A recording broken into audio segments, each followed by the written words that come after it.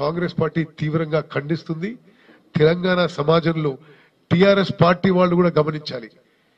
ఈ తుగ్లక్ ప్రభుత్వంలో మరి ఒక పిచ్చి తుగ్లక్ రాజ్యంలో ఒక్క కుటుంబం బాగుపడడానికి మన అందరం బలైపోవాలనా సమాజంలో అన్ని వర్గాలు ఇది సెక్రటరీ ఎవరి ఆస్తి? ఇది మన అందరు ఉమ్మడి ఆస్తి. కూలగొట్టి వేల కోట్లు ఖర్చు పెట్టి ఆడ కొత్త బిల్డింగ్ ఎవరికి అవసరం? ఇంత విలాసవంతమైన జీవితం ఎవరికి అవసరం? లక్ష స్క్వేర్ ఫీట్ ఇల్లు ఎవరికి అవసరం? కోట్ల రూపాయల కార్లు ఎవరికి అవసరం? చార్టర్డ్ ఫ్లైట్లు ఎవరికి అవసరం? కల్వకుంట్ల కుటుంబానికి. ఇంకెవరికి ఈ రాష్ట్రంలో కాదు. ఇది really really it's a very sad day. నేను ఒక రాజకీయవేత్తగా ఒక ఎంపీగా ఒక రా- జాతీయ పార్టీ అధ్యక్షుడు ఒక పౌరునిగా కేసీఆర్ నీకు సిగ్గు చేయటం చెప్తూ మనం ఇంత నిస్సిగ్గుగా ఇంత నిర్లజ్జగా ఆ సెక్రటరియట్ బిల్డింగ్ మేము అందరం మంత్రులు ఉన్నాం. చాలా బిల్డింగ్లు కొత్త బిల్డింగ్లల్లా. టూ థౌజండ్ ట్వెల్వ్ థర్టీన్ పూర్తయిన బిల్డింగ్లు.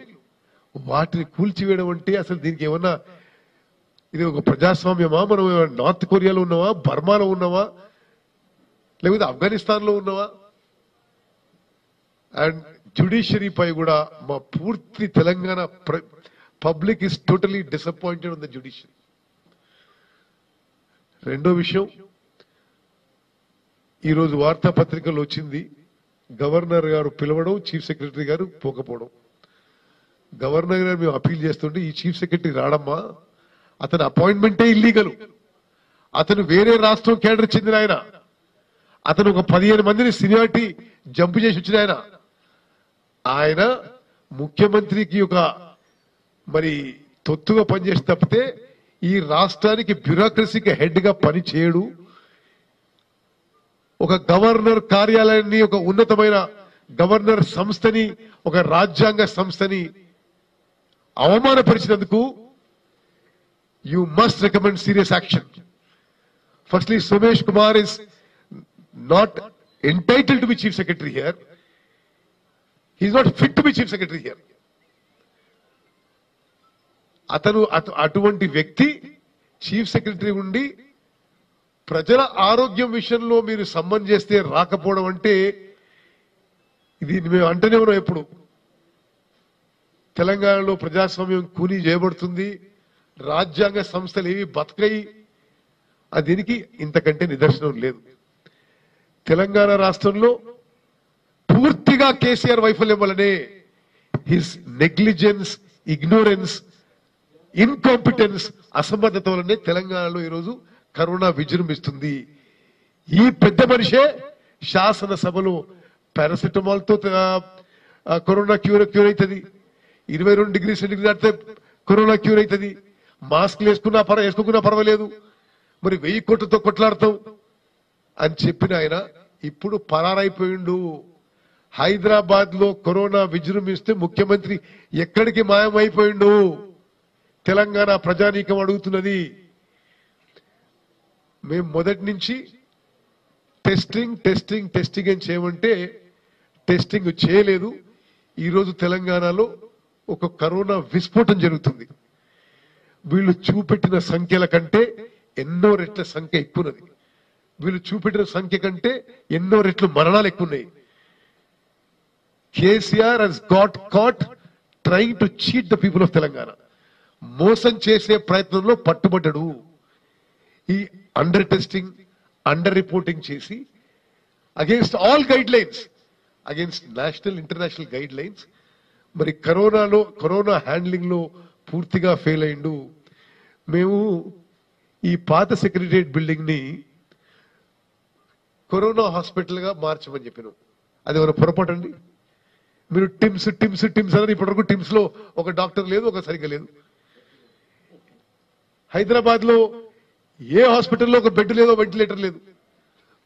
సెక్రటరియట్ కొంతకాలం హాస్పిటల్లో హాస్పిటల్గా ఉపయోగించడం ఏమైనా పాపమా?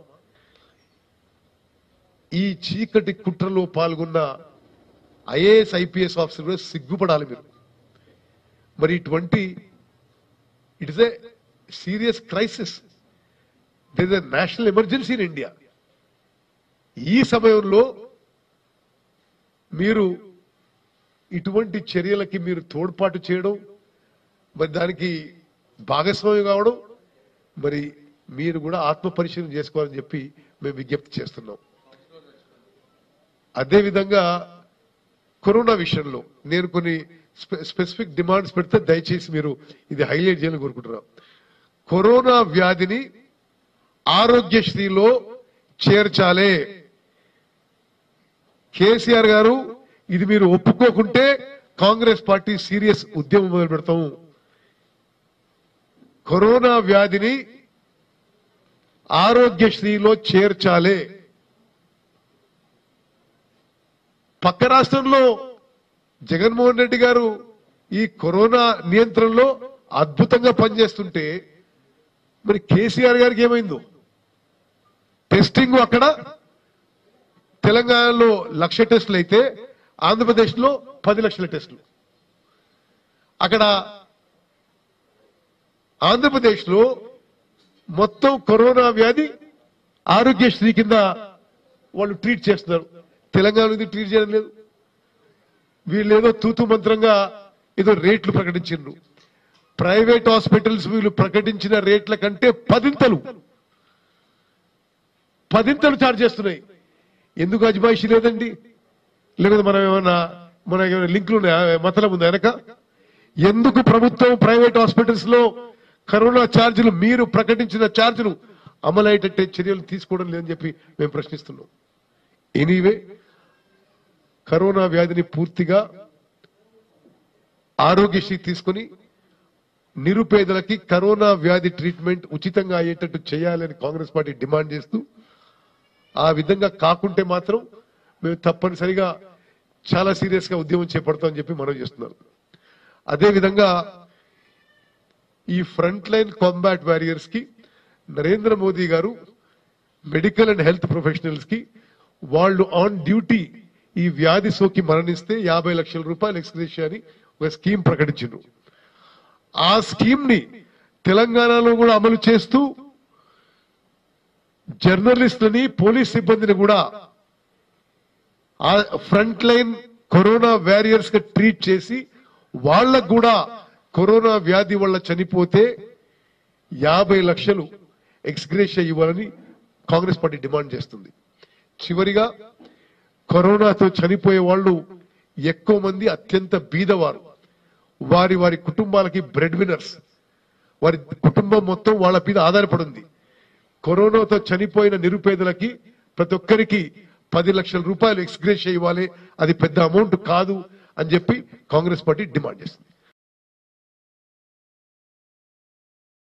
మీరు ఒక్క విషయం గుర్తుపెట్టుకోండి దయచేసి. ముప్పై మూడు ముప్పై నాలుగు వేల మందికి ఇప్పటి కరోనా వచ్చింది తెలంగాణలో. కానీ అందులో తొంభై ఎనిమిది శాతం మంది బాగా ఇంకపోతున్నారు తొంభై ఎనిమిది శాతం. ఈరోజు మనం ఎక్కడైతే మహబూబ్ నగర్ కాలేజ్ ఓపెన్ చేసుకుంటామో ఇక్కడ కూడా ఈ బిల్డింగ్ ప్రారంభించుకుంటా ఉన్నాం ఇక్కడ కూడా ఒక వంద పడకల కోవిడ్ ఉంది ఇక్కడ. ఇక్కడ ఫెసిలిటీ ఉంది. ఇది తెలియదు చాలా మందికి. తెలియక ఏమనుకుంటున్నారు? ఓన్లీ గాంధీ మాత్రమే ఉంది మొత్తం రాష్ట్రంలో. నాలుగు కోట్ల మందికి ఒకటే హాస్పిటలా అని మాట్లాడుతూ ఉన్నారు. తప్పది. ఈ రకంగా ఎక్కడికక్కడ వికేంద్రీకరించి స్థానికంగా ఎక్కడికక్కడ సేవలు అందిస్తూ సిబ్బంది వైద్య సిబ్బంది ప్రాణాలకు తెగించి వారు పోరాటం చేస్తూ ఉంటే వారి ఆత్మస్థైర్యాన్ని దెబ్బతీసే విధంగా ఇప్పుడు ఇంత పెద్ద విపత్తులో ఎక్కడో అక్కడో ఇక్కడో చిన్న చిన్న పొరపాట్లు జరుగుతుండొచ్చు. జరుగుతలేవు.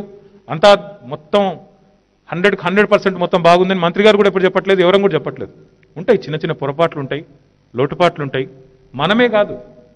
అగ్రరాజ్యాలు సుసంపన్నమైన దేశాలు అమెరికా ఇటలీ స్పెయిను బాగా డబ్బున్న రాష్ట్రాలు బాగా డబ్బున్న దేశాలు. వాళ్ళే కింద మీద అయితే ఉన్నారు మీరు వార్తలు చూస్తూ ఉన్నారు. వాళ్ళు కూడా వాళ్ళకు ముప్పై వేల వెంటిలేటర్లు కావాల్సి వస్తే వాళ్ళ దగ్గర ఉన్నది పదకొండు వేల వెంటిలేటర్లు. న్యూయార్క్ లాంటి నగరంలో కూడా.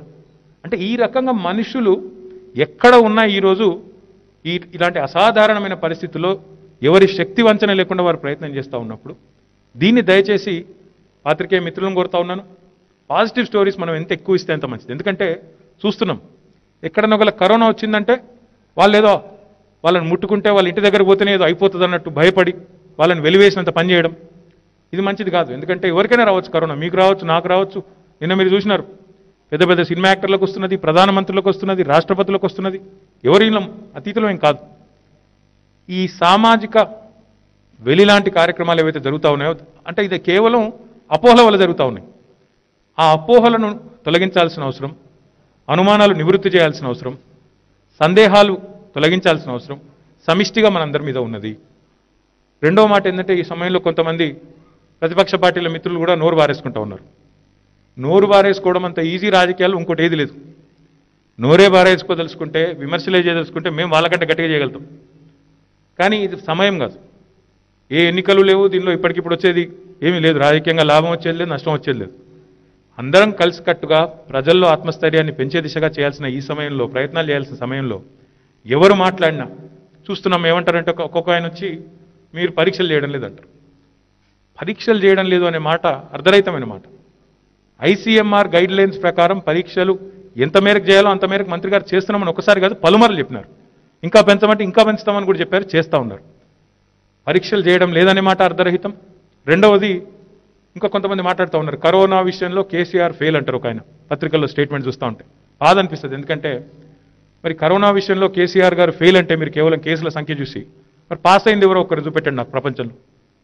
ఏదన్నో ఒక నాయకుడు ఏదన్నా ఒక ప్రభుత్వం ఎక్కడన్నా గొప్పగా చేసినారు ఫలానా పని దానివల్ల తగ్గింది. ఏదో ప్రభుత్వ సమస్యలాగా ప్రభుత్వమే తెచ్చిన సమస్యలాగా మాట్లాడడం అనేది బాధ్యత రాహిత్యం. ఈ సమయంలో చేయగలిగితే మాట సాయం చేసి ఆత్మస్థైర్యం పెంచి మంత్రి గారితో మాట్లాడి లేదా సిబ్బందితో మాట్లాడి ఎవరి శక్తి మేరకు వాళ్ళు తోడ్పడాలి ఎవరి శక్తి మేరకు వాళ్ళు కృషి చేయాలి కానీ ఈ రకమైన మాటలు మాట్లాడి పనిచేస్తున్న వారి నైతిక స్థైర్యం దెబ్బతీయడం ఈ రకమైన మాటలు మాట్లాడి పరిగెత్తుతున్న వాళ్ళ కాళ్ళల్లో కట్టెలు పెట్టడం ఇది మంచి విధానం అయితే కాదు. విమర్శలే చేయదలుచుకుంటే వారికంటే వందింతలు మేము చేయగలుగుతాం. మేము కూడా నచ్చు మరి. భారతదేశం ఈరోజు మూడో స్థానంలో ఉంది కరోనా విషయంలో. అంటే మరి ప్రధానమంత్రి ఫెయిల్ అయిందా? మేము అనాలనా? చాలా బాధ్యత రహితమైన మాట మాట ఎవరైనా మాట్లాడుతారు. ప్రధానమంత్రి ముఖ్యమంత్రి ఇది పదవులతో సంబంధం లేని అంశం ఇది. ప్రజలు ఎక్కడి వాళ్ళు అక్కడ అందరం కూడా జాగ్రత్తగా ఉండి ఎక్కడి వాళ్ళం అక్కడ మనం తీసుకోవాల్సిన చర్యలు తీసుకుంటూ మాస్క్ వేసుకుంటూ ఎప్పటికప్పుడు చేతులు శుభ్రంగా ఉంచుకుంటూ ఇంకొకరికి మనం అంటియకూడదని ఒక స్ఫూర్తి పెట్టుకుంటే ఏ ఇబ్బంది లేకుండా ముందుకు పోయేదానికి ఆస్కారం ఉంది. కాబట్టి ఈ సమయంలో దయచేసి ఇట్లాంటి వ్యాఖ్యలు చేసి బాధ పెట్టి పైశాచిక ఆనందం పొంది దీనివల్ల వచ్చేదేం లేదు. దయచేసి కలిసి రావాలని మిత్రులు నేను కోరుతా ఉన్నాను రెండవది ఇప్పుడే మంత్రి గారు కూడా చెప్పారు వికేంద్రీకరించి చాలా జిల్లాల్లో ఇప్పుడు స్టార్ట్ ట్రీట్మెంట్ స్టార్ట్ చేసినారు. ఇప్పుడే నాకు డాక్టర్స్ చెప్తా ఉన్నారు. డిఎంఎన్హెచ్ఓ గారు చెప్పారు డైరెక్టర్ గారు చెప్పినారు. సార్ మాకు కూడా యాంటీజెన్ ర్యాపిడ్ యాంటీజెన్ కిట్లు వచ్చినాయి సార్. ఈ రోజు నుంచి ఇక్కడ కూడా వైద్య పరీక్షలు ప్రారంభిస్తాం సార్ అని చెప్పారు. చాలా సంతోషం. ఎక్కడికక్కడ ఈ రకంగా మంత్రి గారి నేతృత్వంలో ఎందుకంటే ఈ సమస్య ఇప్పట్లో పోయేటట్టు లేదు. చూస్తున్నాం రోజు పేపర్లో చూస్తూ ఉన్నాం. ఒక ఈరోజే చూసినారు మీరు. రష్యాలో ఏదో వ్యాక్సిన్ వచ్చిందట క్లినికల్ ట్రయల్స్ అయినాయట. కొన్ని కొన్ని అక్కడక్కడ silver lining around the dark cloud అన్నట్టు అక్కడక్కడ కొన్ని ఆశావహమైన మాటలు వస్తూ ఉన్నాయి. చాలా సంతోషం. మందో వ్యాక్సినో ఇంత జల్దొస్తే అంత మంచిది. కానీ అది వచ్చేదాకా జాగ్రత్తగా ఉండక తప్పని పరిస్థితి. అట్లని చెప్పేసి మొత్తం బంద్ పెట్టుకొని ఇళ్ళలో కూర్చోలేని పరిస్థితి. ఈరోజు చాలామంది అడుగుతూ ఉన్నారు మమ్మల్ని కూడా. మీరు ఎందుకు తిరుగుతున్నారు? పెద్ద పెద్ద ప్రోగ్రాంలు ఎందుకు పెడుతున్నారని అడుగుతున్నారు. ఇప్పుడు అందరినీ అన్ని పనులు చేసుకోమని చెప్పి మేము ఇళ్ళలో కూర్చుంటే బాగుంటుందా? మంత్రులు ఎమ్మెల్యేలు మేమందరం ఇళ్ళలో ఉండిపోయి మీరు మాత్రం పని చేయండి మేము మాత్రం ఇళ్ళలో కూర్చుంటాం భద్రంగా ఉంటామంటే బాగుంటుందా? మా పని మేము చేయాలి ఎవరి పని వాళ్ళు చేయాలి. కరోనాతో సహజీవనం అనేది తప్పదు అని తెలుసుకున్న తర్వాత జాగ్రత్తలు తీసుకుంటూ ఎవరి ఎవరి ఆలోచన వారు చేసుకుంటూ ముందుకు పోయే ప్రయత్నం చేస్తూ ఉన్నాం.